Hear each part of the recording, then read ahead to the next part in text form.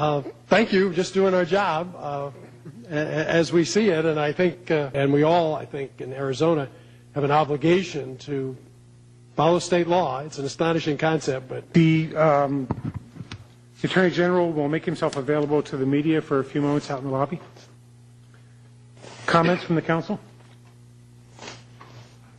No?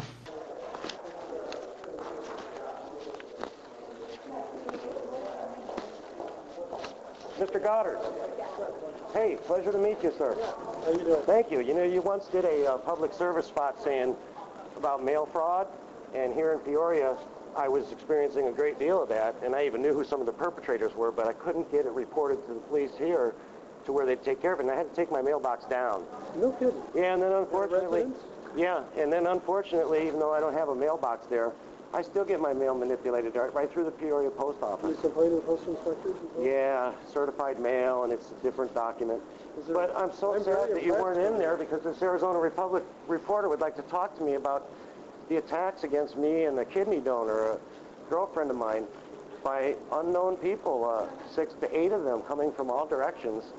And uh, good old Department of Health Services in Magellan, you know, now there's a stand-up $1.5 billion contract that's failing the people in this state. Yes. And I'm ready to talk. Yes, it is. Eddie. I'm ready to let you know how the fiduciaries in Arizona that are private actually conduct themselves in a way where they're committing systemic murders.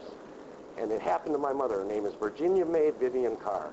And that licensing division down at the Supreme Court has absolutely subverted and skirted what would be an integral investigation. And I've brought all of this to the attention of your office the the licensing board at the, uh, uh, the Supreme Court Licensing Division. And we wanted to go and, you know, listen to their, uh, what they said was their investigation and determinations on the complaint against a private fiduciary illegally appointed that removes life support and ends human life in this country for profit. And her name is Jane Ann Geisler. And believe me, you, while I'm still walking, living, and breathing, you're going to know who Jane Ann Geisler is, and you're going to know all about how she absolutely embezzles estates and throws people with her lawyers into mental hospitals that have a financial interest in doing that. And that attorney's name is Susanna Goldman. She's moved her practice to? Illinois. Oh, yes, this has all been sent up to your office. Yes, as well as the, the notice of claim I just let them know about uh, against the state of Arizona for this attack on me through this contractor, Magellan, and formerly Value Options. Now, I'm tired of being called crazy, and I'm going to let the reporter in the Arizona Republic know very specifically exactly what happened, because there's a woman dead who was a believer in the Baha'i faith, which does not permit cremation. And there's a fiduciary in this state named Jane Ann Geisler that cremated that body to cover up either malpractice, foul play, or both. And I'm depending on you to find out which it was, if not both. Well, we'll have to sort out who can, who can investigate. Accidental death, I no represent the Supreme Court, so. accidental death, accidental death, no autopsy, mm-hmm. That's very. cremated against their religious beliefs. Sir, I'm happy to follow up on sewer your complaints here About from time. office, so that's my direct line is Yeah. there. I apologize. We I'd be have to- happy to publish the calls to the Attorney General's office that we make because you absolutely get put off in this state. People there are either bought or they could care less. And I'll quote President Obama. Public service is a privilege. Yes, it is. Yeah. It's a privilege, not a right. However long we are keepers of the public trust, we should never forget that we are here as public servants, and public service is a privilege.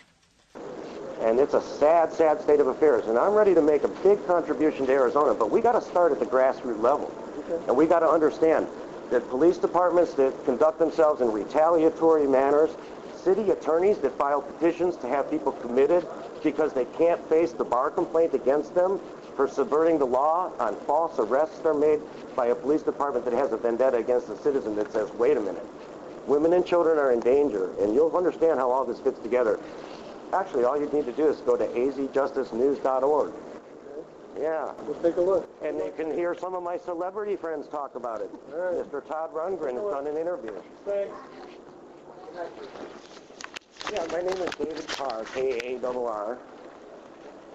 I'm available for comment, and you can reach me at 602-435. Are you, mem- are you a resident of? And I have, uh, yes, and I've reported fraud and abuse on behalf of Value Options and Magellan, and I, I, I even see some familiar faces here of people that have attacked me in the night, uh, police officers and so on. I don't know if it's for sure because we're going to have to have the police department determine and identify those individuals. But somebody's spending thousands and thousands of dollars in covert manner of operating to try and damage people, and it's enough en- is enough. What's your name? My name is Marsha, and I'm a reporter with the Republic Marsha? of Peoria. Okay, and uh, do you have a card or anything? I don't have cards made yet, but I can give you my contact. Would you write it down? Yeah, that'd be great. Yeah, it's time we did a little talking here because I've recorded for eight years now this, the corruption in Arizona. And uh, I would welcome you to do a little story about azjusticenews.org. There's my number. Okay, thank you so much. Thank you.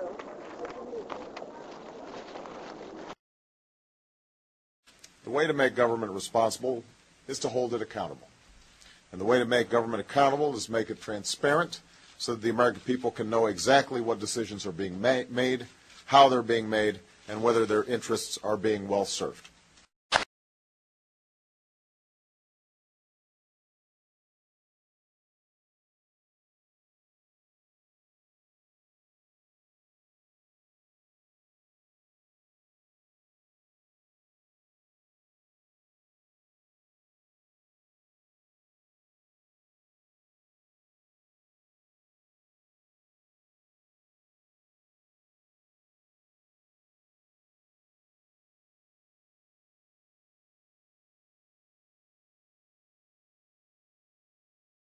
And we all, I think, in Arizona have an obligation to follow state law. It's an astonishing concept, but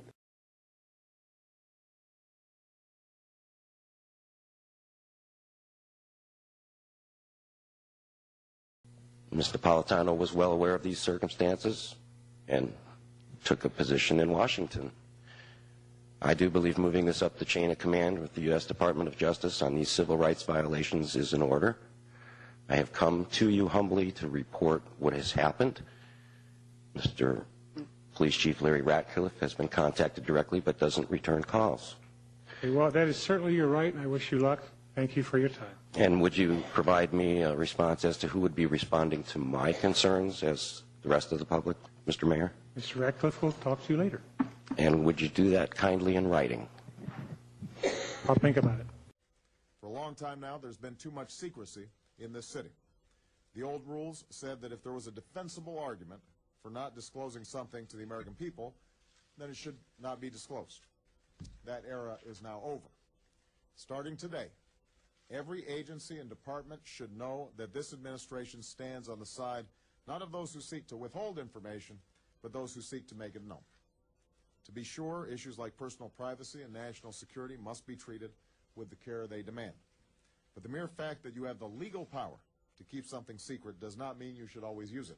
To those who cling to power through corruption and deceit and the silencing of dissent, know that you are on the wrong side of history.